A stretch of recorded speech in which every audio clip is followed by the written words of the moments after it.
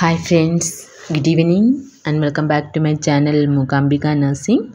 Friends, in this video we can see some questions from previous ESIC question paper. This question is from Anatomy and Physiology, all previous ESIC questions. We will see the question one by one. The first question, bilirubin is formed from and options option A heme, option B globulin, option C transferrin, option D gastroferrin. Okay, question is bilirubin is formed from and the correct answer is option A from heme. Okay. Bilirubin is an yellowish pigment present in the bile and it is formed from the heme part of hemoglobin after the destruction of this RBC. Okay, normal lifespan of RBC is 120 days. Once the RBC is destructed, this bilirubin is formed from the heme part of this RBC. Okay, here correct answer is option A, heme. The next question, excessive hemolysis may result from accumulation of which substance in the body? Options, option A mean bilirubin, option B minerals, option C heme, option D globulin. Here correct answer is option A bilirubin. Excessive hemolysis may result in the accumulation of bilirubin in the body. Hemolysis means is the destruction of RBC. Destruction means there is old and damaged RBC may be destroyed. The destruction usually occurs in liver, spleen and red bone marrow. Bilirubin is the end product of destruction of this RBC. So here correct answer is option A. The next question, the insufficiency of this substance in the blood may lead to edema of the body. Options, option A albumin, option B electrolyte, option C hormone, option D all of this. Insufficiency of this substance in the blood may lead to edema. Correct answer option A albumin. This albumin is the smallest and most abundant plasma protein in the body. Albumin helps to maintain the blood volume and blood pressure in the body, thereby maintaining the oncotic pressure of the body. Okay, once the amount of this albumin decreases insufficiency here question insufficiency is there. Once the insufficiency or decrease the amount of this albumin in the blood which may leads to accumulation of fluid in the interstitial tissue which may leads to edema of the body. Okay here insufficiency of albumin in the blood leads to edema. Option a is the correct answer. The next question, which of the following is considered as an indicator for administration of serum albumin? Options, option A formation of WBC, option B formation of RBC, option C clotting of blood, option D maintenance of oncotic pressure. Which is the indicator for administration of albumin? That is the question. So correct answer is option D maintenance of oncotic pressure. This albumin, as we already discussed in the previous question, albumin is an smallest and most abundant plasma protein. The main function of this albumin is to helps to maintain blood volume and blood pressure. Thereby, it maintain the oncotic pressure or osmotic pressure of the blood. Here question is the indication for administration of serum albumin is to maintain the oncotic pressure option. D is the correct answer. Next question. The length of medulla oblongata is options. Option A 4.5 centimeter. Option B 6 centimeter. Option C 2.5 centimeter. And option D 3 centimeter 5 centimeter. And correct answer is option C 2.5 centimeter. Length of medulla oblongata is approximately 3 centimeter. Here 2.5 centimeter is there. So that is the correct answer. The next question, largest sesamoid bone is options option A patella, option B mandible, option C clavicle and option D atlas. Largest sesamoid bone is option A patella is the correct answer. Second option mandible. Mandible is the movable or mobile bone of the skull. And third option clavicle is there. That is the first bone to ossify in the body is clavicle. First bone to ossify in the body is clavicle. The next option atlas. Atlas is the first cervical vertebra. Second cervical vertebra is axis. Here our question largest sesamoid bone is patella. Next question location of swallowing and vomiting center is located in options option A hypothalamus option B medulla oblongata option C pons option D cerebrum location of swallowing and vomiting center is located in medulla oblongata. Option B is the correct answer. Location of thirst center is hypothalamus. And location of cardiovascular center is medulla oblongata. Location of respiratory center is also medulla oblongata. Important point. Location of temperature regulatory center is hypothalamus. Here our question location of swallowing and vomiting center is located in medulla oblongata. Option b is the correct answer. And next question functional tissue of the lung is.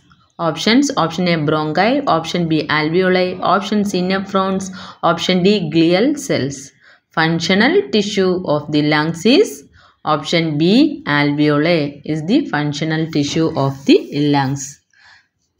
Functional unit of the kidney is nephrons. The next question weight of testes options option a 30 to 40 gram. Option b 20 to 25 gram. Option c 20 to 40 gram. And option d 30 to 35 gram. Correct answer is option b 20 to 25 gram its weight test is weights about 20 to 25 gram. And its measurement is 4.5 centimeter long 2.5 centimeter wide and 3 centimeter in thickness. 4.5 centimeter long 2.5 centimeter wide and 3 centimeter in thickness. Move on to the next question. The supportive cells of the nervous system are options option a stem cells. Option b astrocytes. Option c glial cell. Option d all of this.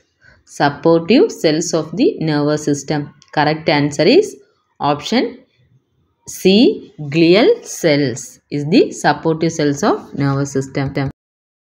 The next question spinal cord is made up of options. Option a neuron option b striated cells option c dendrons option d nephrons spinal cord is made up of neurons option a is the correct answer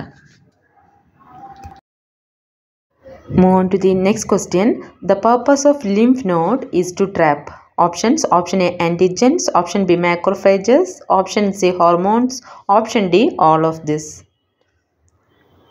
Correct answer is Option A antigen. The main purpose of the lymph node in our body is to trap and destroy the pathogens. Pathogens means the outside substance or the antigen which enter the body. They are destroying the pathogens by phagocytic mechanism. So the function of this lymph node is to destroy the unwanted substance coming into the body. That is called antigen. The next question the apex of the heart is formed mostly by Options Option A right atrium, Option B right ventricle, Option C left atrium, Option D left ventricles. Apex of the heart is formed by left ventricles. Option D is the correct answer. Move on to the next question. Apical pulse is assessed by placing the diaphragm of the stethoscope at the area of Option A aortic area, Option B pulmonary area, Option C mitral area. Option D tricuspid area. Correct answer is option D mitral area. Mitral area means between the left atrium and left ventricle. That is at fifth intercostal space. Okay, apical pulse is assessed by placing the diaphragm of the stethoscope at the mitral area that is at the fifth intercostal space.